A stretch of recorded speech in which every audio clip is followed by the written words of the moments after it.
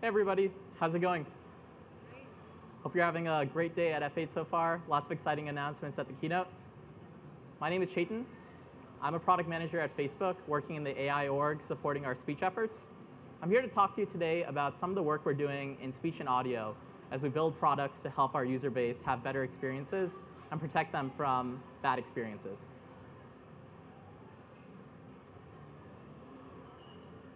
Before we kind of go into our talk, I kind of want to just remind everyone what Facebook's mission is. Facebook's mission is to give people the power to build community. We don't want to just have Facebook be the one connecting you. We want all of you to have the power to connect each other as you interact and engage with more and more communities. When we think about what it takes to really give people the power to build community, there's a few areas that we've been looking at recently where we've noticed some interesting trends.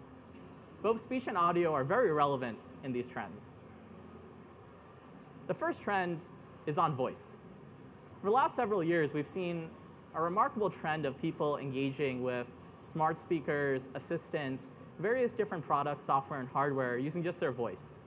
Whether it's to get information about what's going on in their day, to find out what's happening in the news, to communicate, call friends and family. Voice is a very natural interface that people are finding is very useful and easy to use. And the other trend that we've been noticing is audio. If you've kept up with any form of news, you'll see that audio and video content is constantly growing in production. Whether it's video content, where people are producing and consuming more and more, it's podcasts, it's music, it's sound, audio is super relevant. When we think about how do we help our user base have a great experience, and how do we help them have the power to build community around speech and audio, the first thing we think about is how do we use voice to help people connect with one another and have an easy, lightweight, natural experience. Using voice should be not only natural, just like having a conversation with a person, it should feel expressive, and it should help you connect to the people in your life that matter. And when we think about audio, understanding what audio content is out there on the platform, it's really important.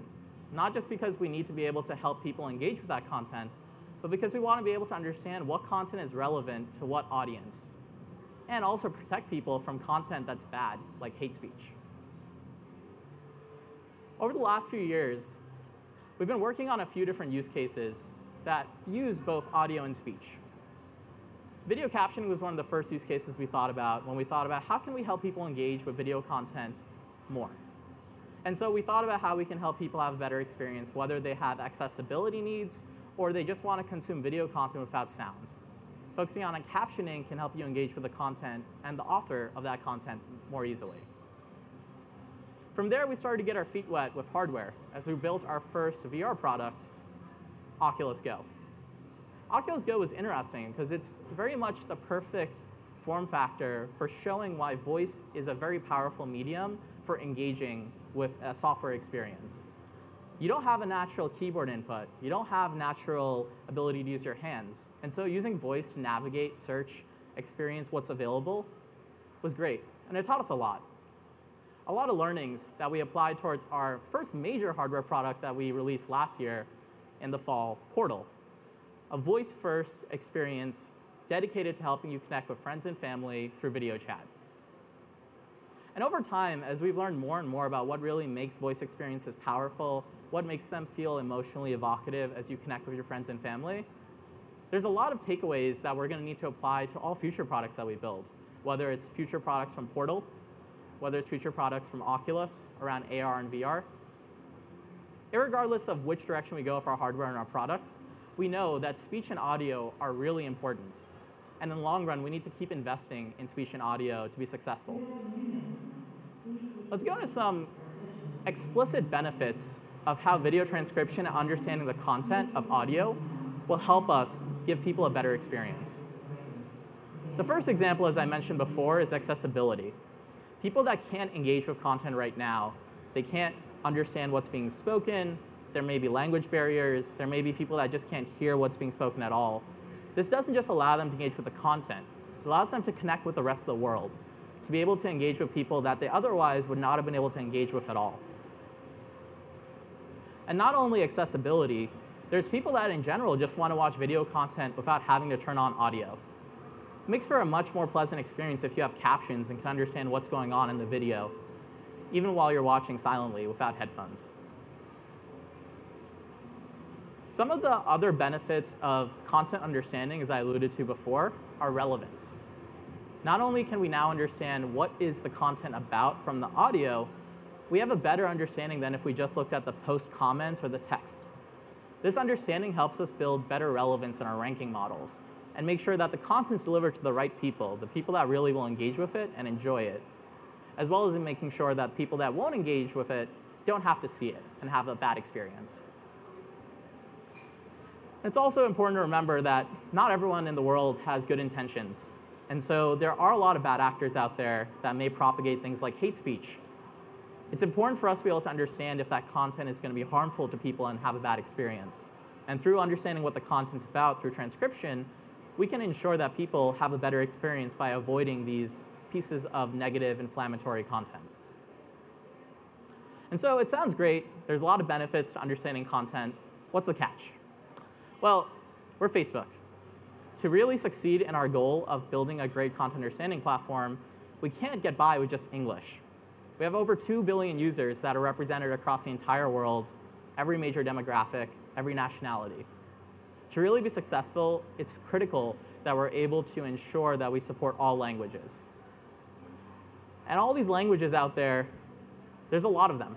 And it's really important that we have a great parity of experience across the different languages. Scaling to support this is not necessarily easy. There's a lot of different challenges involved in building machine learning models that can adapt to every different language out there, all the different vocabulary, speech patterns, local slang. Before we go into some of those challenges, I want to give a very brief overview of how speech recognition works at a high level. Put differently, the goal of a speech recognition task is to take some audio and map it to some text that is a prediction of what was spoken. You take some high-level features, you put it through a few different models trained on data, and then you output a prediction of what was spoken. Let's go through an explicit example and familiarize ourselves with the high-level components of ASR. On here, you'll see an acoustic model's job is to take audio and output phonemes or sound units that represent sort of the phonology of language, all the different units of sound that make up words. And you might say, well, how do you make sense of all these different units of sound? Well, luckily, you have a dictionary that basically represents your vocabulary. It's a mapping from words to how you pronounce them into these sound units. This dictionary is what we use to make sense of all the different phonemes and go from your acoustic model to sensible words. But now you have a bunch of words that need to be put into a sentence. There's a lot of different combinations you could use. How do you figure out what's the right combination? This is where you'll use a language model which will help us actually understand the context of the sentence on the words and figure out what's the most likely combination and sequence of those words that make sense. And there you go. You have your output of your ASR task. The quick brown fox jumped over the lazy dog. Now, if you want to make this scale to every different language, you're going to have to do the same task for all three of those components and build those for every language you want to support. And that gets a little complex, as we'll go into in this next section. So what exactly is the big challenge in scaling to all these different languages? There's obviously a component of collecting data, which we need to train our acoustic models and our language models. But that's not too bad. As long as you have someone that understands what the content is in a given audio, video, content, as long as they can write down the spoken form of that, you can get training data. But when you go to something like a pronunciation dictionary, where you need to have a deep linguistic, phonological knowledge of a language, this is the kind of thing people go to school to study for years for a given language. This is where it gets challenging. You might say, okay, well, like, why can't you just find all the experts? Well, imagine there's only 5 million people that speak a given language in the world. And out of that 5 million, you have to find the few experts that exist that actually are familiar with all the nuances of that language. You can see how this gets challenging as you scale to more and more languages. And given we're Facebook, it's important to scale to all the languages that matter to our user base. Keep in mind also, this isn't a one-time task. language isn't static. Language evolves over time, new words come into existence, old words fade out, meaning changes, pronunciations change, vernacular and slang pop in. So this is kind of an ongoing thing you have to deal with.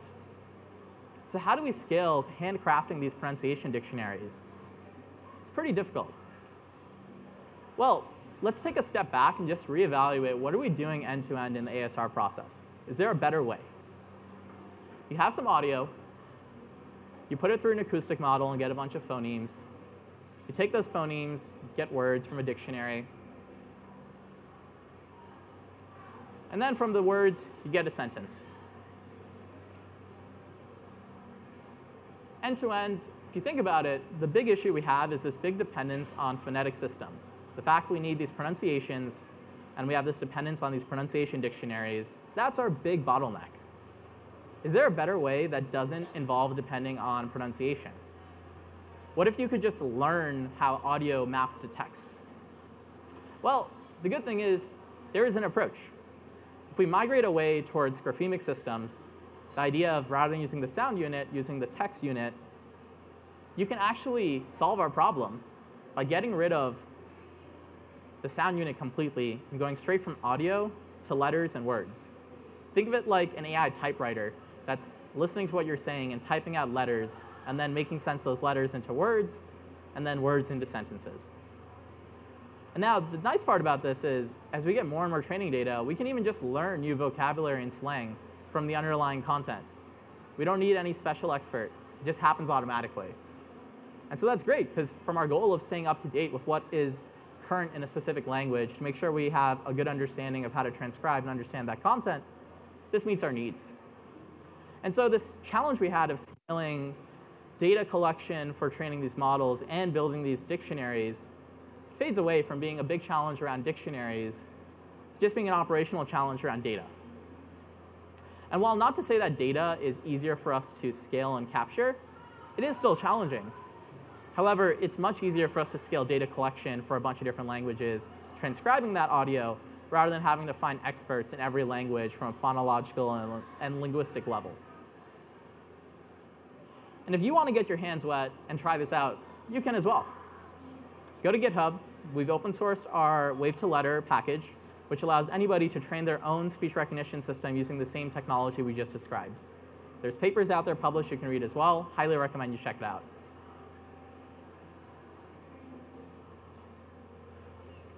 And a small tidbit. Today, Facebook is processing hundreds of years of video content daily. Now, I don't know how to describe that to you because I personally can't fathom what 100 years of audio content even sounds like or feels like or how much it fills up in a room. But the key thing I want to point out is that is only going to keep growing as Instagram and Facebook keep producing more and more video content as we support more and more languages. And so our challenge isn't done. It's going to keep growing, and we have to stay humble as we keep pursuing the next step in this challenge. Let's move on to a bit of our voice interface experiences. How many of you here are familiar with Portal? Okay, I see a raise of hands. Portal was our first hardware product that was geared at helping people connect with their friends and family easily. The goal of this was to be something that would be different from other products by focusing on your connection to your family. Think about how many times you call your family in a given month or week, and think about how much friction there is in the video chat process. To achieve this goal of making it super frictionless, super easy, we knew we had to use voice, because voice is super natural and easy. But the bar is really high. When I think of the bar, I think of it as it has to be easier than me shouting into my living room, hey mom, how are you doing? That's how silly, stupid, easy it has to be. And that's not an easy bar to meet especially because as we worked on Portal, we realized how you build a voice interface experience and how you make sure it's successful is very different from a video transcription experience, where you're okay with having most of the content transcribed and having a good experience. In this case, it's not about getting most of the content. There are very tangible binary outcomes of success or lack of success. And as you'll see here as we walk through a concrete example, there's many points of failure, which mean we have to be very precise about how we optimize our speech recognition and our voice interface to make it successful. At the start of an experience, you might say, hey portal, call John, where hey portal is basically the word that activates the device. As you go through from wake word, you're going to actually try and verify, did you actually intend to activate the device before you try and interpret what the command was? What did you actually say? Who are you talking about?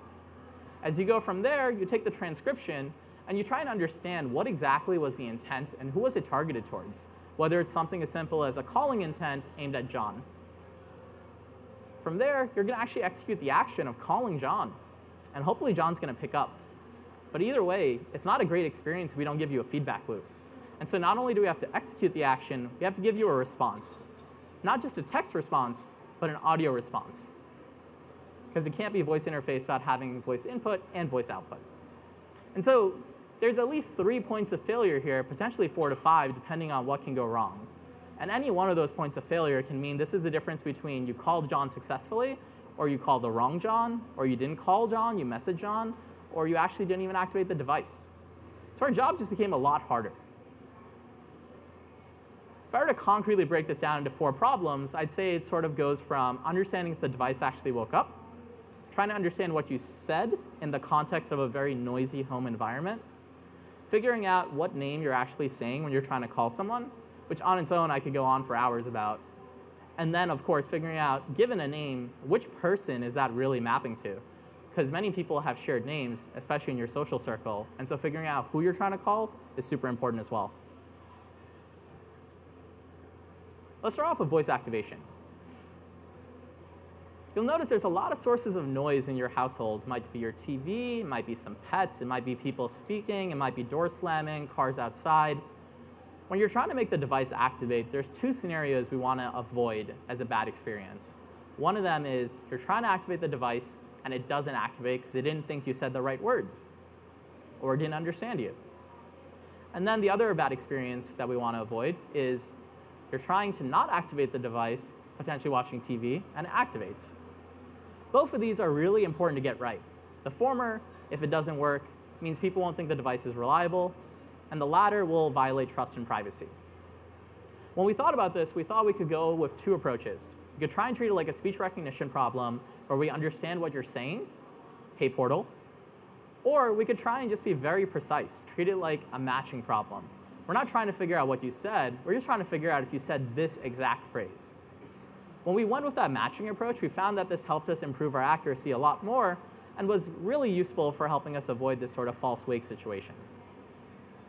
But when you're talking about speech recognition in the context of having all these different noises, that becomes a little more complex because now you have to actually understand what's being spoken and you have to make sure that you recognize it accurately, despite accents, background noise, and pronunciation issues, especially with names. And so normally you might take a bunch of data, you might record it from a home, and from that you might actually take that data and train on it. When you think about homes and the sources of noise that are available, there's a lot of different room configurations, furniture configurations, people in your home, different accents, different sources of noise. Can we really do a justifiably good job operationally getting all that data from the real world? Well, we thought, why don't we try a different approach? Why don't we just try simulating these scenarios and use a software simulator to build a bunch of data? The nice thing about this approach with a software simulator is not only were we able to simulate thousands to millions of different configurations super easily, we can easily update that by adding artificial noise, new conditions, new environments that we hadn't considered, and make it easy to maintain and grow and improve over time.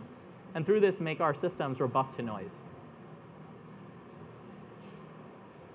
Another challenge, as I mentioned before, is how do you figure out who you're trying to call? A name is a name, but a person is who that name maps to. It's who they matter, who they are in your life, their relation to you. Luckily, we're Facebook. So even if there might be three Josies in your life, your gym partner, your sister, your colleague, we should be able to figure out who you're trying to call given the fact that we know who matters in your life, who you engage with, who you call in general on Messenger, who you message. And through that, we can figure out, hey, you call your sister every weekend, that's probably who you're trying to call right now. This is the difference between calling the wrong person and having an awkward conversation and calling the right person and feeling like it's a great experience. And now, the biggest challenge of all, names. How many people here have issues pronouncing a name the first time they hear it? Feel free to raise your hands. How many people have issues understanding a name the first time they hear it? So you can see this isn't a problem that's just hard for machines, it's hard for people as well. And I know personally I had a lot of issues when I was going through this and trying to understand, hey, why did the system fail on this utterance or that utterance? I said it like this, wait, oh, this is really hard even for a normal person to understand. Because names aren't like regular words. They eschew a lot of common conventions. And one of the biggest challenges with names is the fact that they're very easily affected by regional characteristics. The same name written one way could be spoken two different ways depending on what country of origin it comes from. So our speech recognition models had to incorporate figuring out not only the name, but the context or region it came from to make sure we're applying the right pronunciation to it. Let's go through a few examples real quick of what exactly some of those actually are. So gene, very common US name, just like jeans, very simple. However, if you look at John in France, like Jean-Pierre, Jean-Paul, different pronunciation, spelled the same exact way. Both of these are valid pronunciations. Let's go look at another example. You have George, very common American name. But in Spanish, this can be a variety of different pronunciations. It could be Jorge, it could be Yorgi. You could have a variety of different ways you pronounce this, all valid. That on its own is pretty hard to recognize because now we have to adapt to the fact it's not just George when you say that name, it could be a variety of different ways you pronounce it. James, US name, very common. You might say, hey, how is that like something that is easy to mess up? There's got to be no other pronunciation for that, right? Well, if you follow football, then you might be familiar with James Rodriguez from Colombia, and you might say James. That's a very different pronunciation than James. I probably wouldn't recognize that at the first attempt. And then let's go to an example where both pronunciations are not valid. You have this name here, properly pronounced Chinha. That might be butchered if I were to try and pronounce it with American pronunciation systems as Qing He, something that I'm sure no proper Chinese system would recognize as the same underlying characters. As you can see, there's a lot of different ways that this problem can be exacerbated. On top of that, you have accents, which will make it even harder and harder for people to understand what is being spoken. But the good thing is, our systems are designed to evolve, just like people. I remember the first time I used to go to class, every time I went to a new school or went to a new grade, I'd always talk to the teacher and people, and they would try and say my name. And at first, they might say something like Cheaton. And I'd be like, not quite, but you're getting there. Try again. And then on the next attempt, it might be like Chetan. And I'm like, you're getting closer. You're not quite there, but you're almost there. And then finally, they would say Chaitin. I'd be like, Eureka, you got it. Just like real people, we want our systems to evolve. We want them to adapt. And we want to make sure that over time, they get better. Because it wouldn't be comfortable to you talking to a device that doesn't get better over time and is static and constant. And so these are some of the challenges we had to deal with as we built a voice interface for Portal. I'm going to hand it off to my colleague Lior now, who will walk you through the rest of the presentation. Thank you.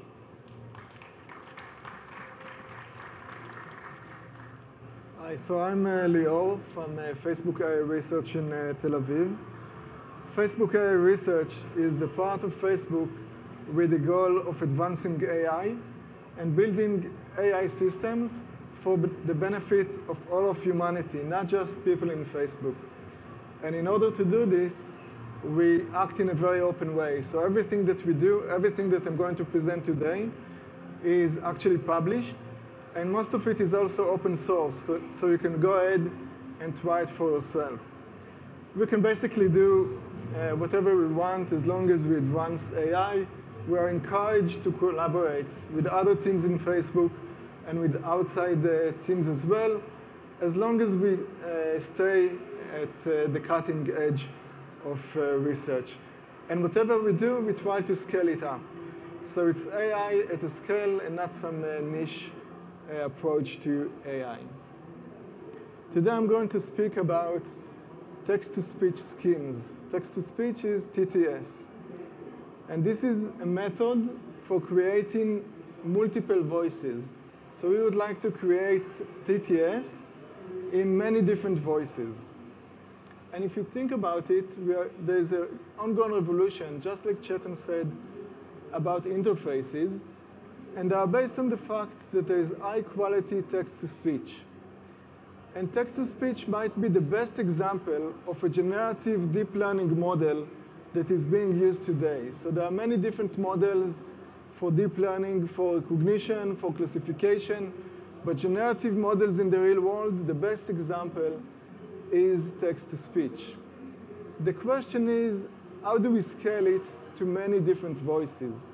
If you want to get a very high quality text to speech robot today, you need to get an actor into a studio for tens or hundreds of hours and record them with very specific texts.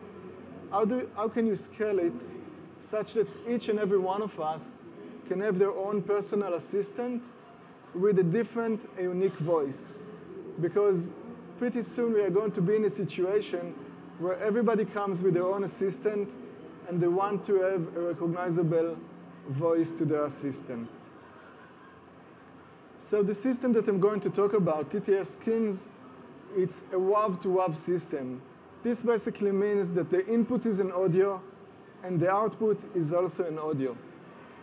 So the input is an audio, some sentence being spoken, and the output is the same sentence in a different voice.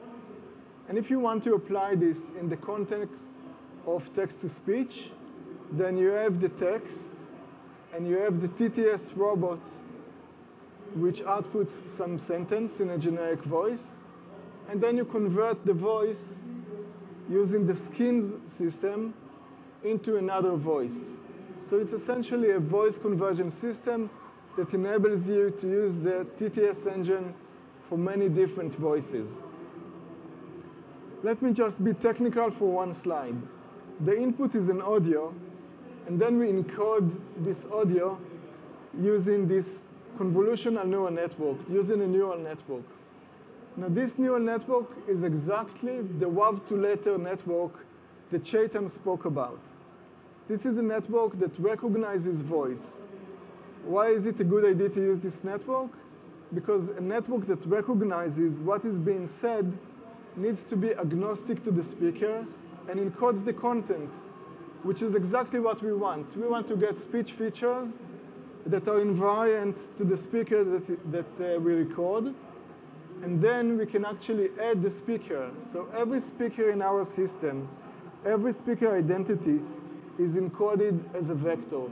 If you want to switch speakers, we just change the vector. And then we feed these, speech uh, features and the speaker ID to a decoder. A decoder is a machine, a neural network, that gets these inputs and outputs audio. So let's think a little bit about applications. I'm going to describe both demos that you can try out right now and some scenarios that the, the AI experiences team thought about. So let's start with a scenario in which we want people to share in a fun and delightful way.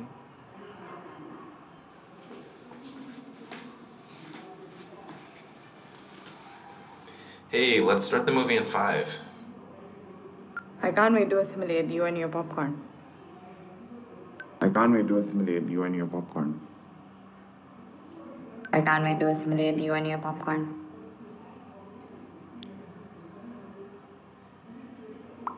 I can't wait to assimilate you and your popcorn.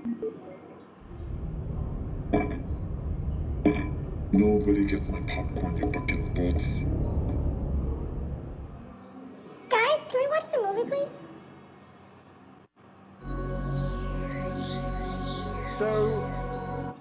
Just behind us over there, there are the AI-powered uh, demos. And you can play with this demo, for example. You can convert your voice into a whisper.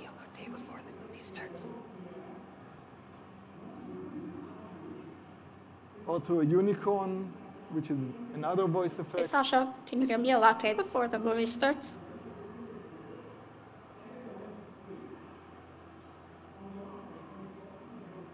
Sasha, can you give me a latte before the movie starts?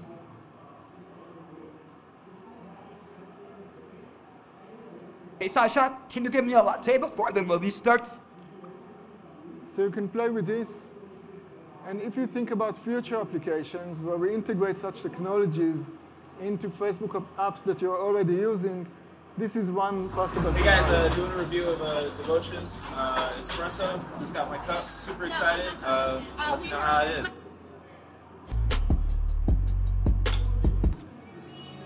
little raspberry, little chocolate.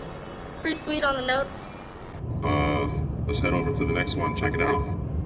I just got out of a new coffee place around the block. Here I have is their signature latte.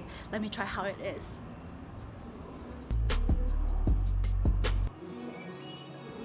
Oh my god, this is so good! So developing these kind of applications is a lot of fun. So let's take a peek, let's take a peek at the development process. Hey guys, check out this app Kevin and I built. Whoa, cool. But I think I see a bug in it. Uh, I'll work on it. Check out this new demo that we have. Is that the same demo that Sasha built? Yeah, uh, it's called Voice Effects. Do you guys like it? So you can meet Sasha in, uh, uh, with the demos, but let's now make a, a shift. So we talked about one audio application, about voices. Let's move and talk about music. So our goal was to develop an automatic way to create cover versions.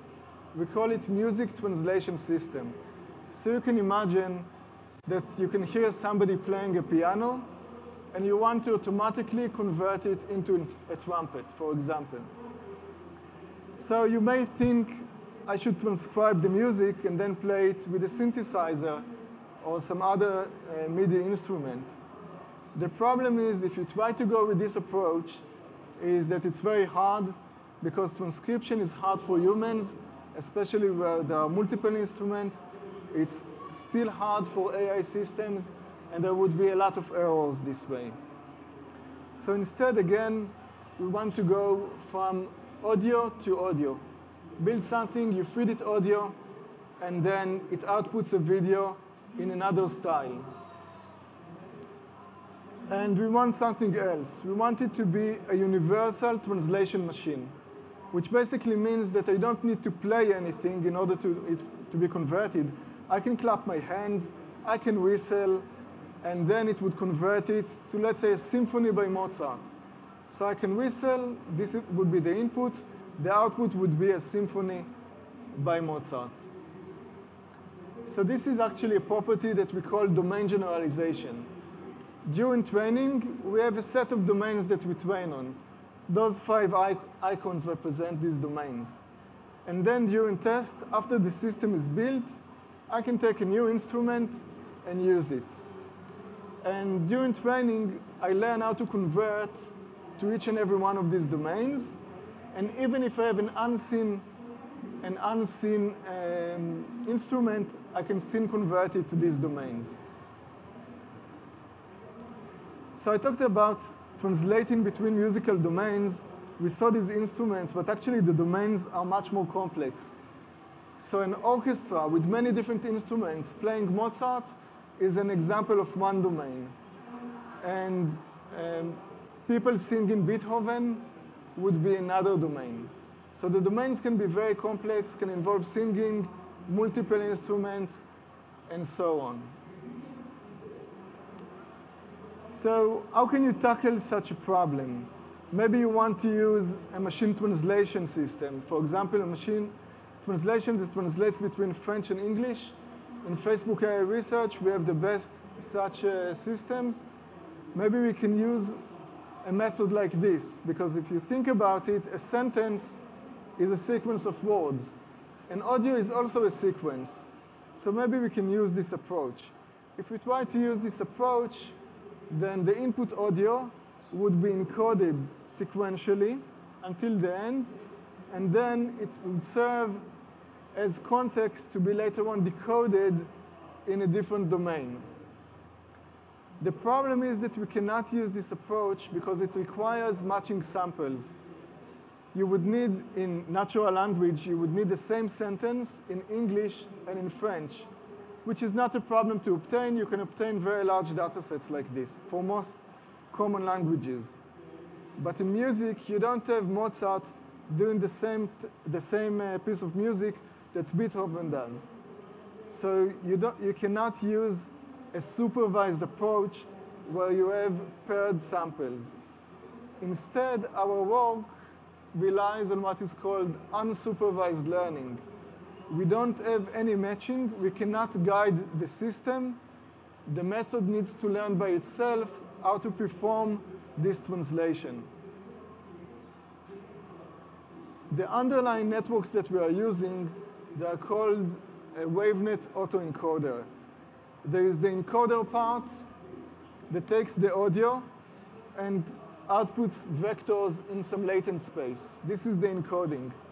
And then these vectors are being used to, together with the WaveNet encoder to generate the output audio. What is different in our system is that we have multiple domains. And in order to create a translation, we actually have a single encoder and multiple decoders. So regardless of the input domain, we have only one encoder, and then we have multiple decoders that are being used in order to play the music back.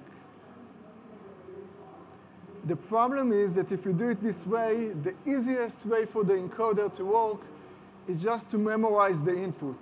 Just record the input, maybe compress it a little bit, but use different regions in the latent space for different domains. So it would put guitars in one place and a piano in another place, and then we can never perform this translation because everything is separate. In order to overcome this, we use two different techniques. Uh, before that, sorry. This is the type of memorization that is actually our enemy. We want the system to be able to, be, to uh, learn the underlying principles. We want it to be smarter and realize what are the underlying principles so it can recreate the music regardless of the input domain. There are two ways that we use in order to enforce this. The first one is called adversarial training. In adversarial training, we have a network. It's called the domain confusion network.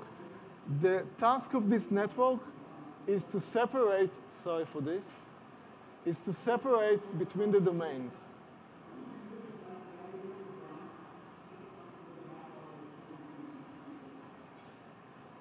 Let's do.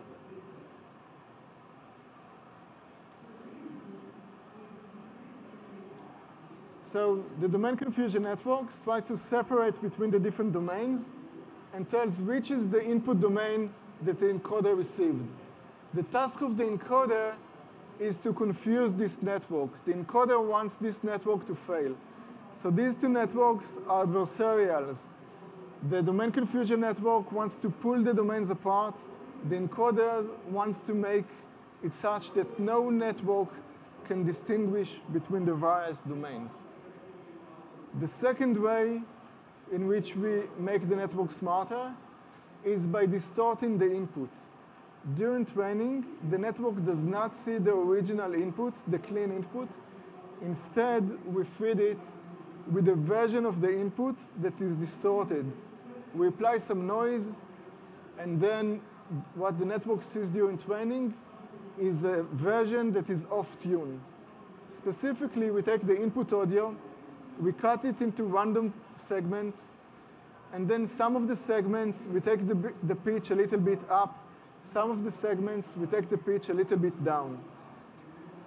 But then, when we uh, train the network, we tell the network, you have to return the original music, not the distorted one. The only way in which the system can reproduce the original music is that is if it's under, it understands the underlying principles of the music. So once the system is trained, we can take an instrument and we can decode it to the same instrument, or we can decode it to each of the other domains. And as we said before, we can do, we can do even more. We can take an unseen instrument and we can play it in each and every one of these domains. So let's see the demo that we've prepared in action. you can go to the demo and play a simple tune, or you can whistle or clap, whatever you want. And we can then recreate it as a Mozart symphony.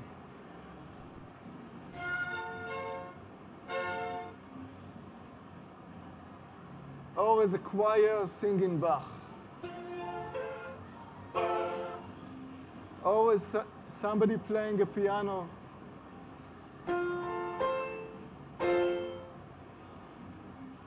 So let me summarize here. Chetan started by speaking about speech recognition, and there are many advances in Facebook in speech recognition.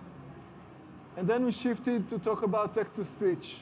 And there is a lot of work in Facebook about text to speech. I only spoke about one corner of it. And then we shifted about tools that can enable users to recreate very impressive music, even if they, are, they don't have the skills and what's really nice is that the AI experiences team created two demos for this event, two demos for F8. They're out there in the back. You can go and play with it right now. And Chetan and I will also go there if you want to uh, chat or discuss these uh, topics. Thank you very much.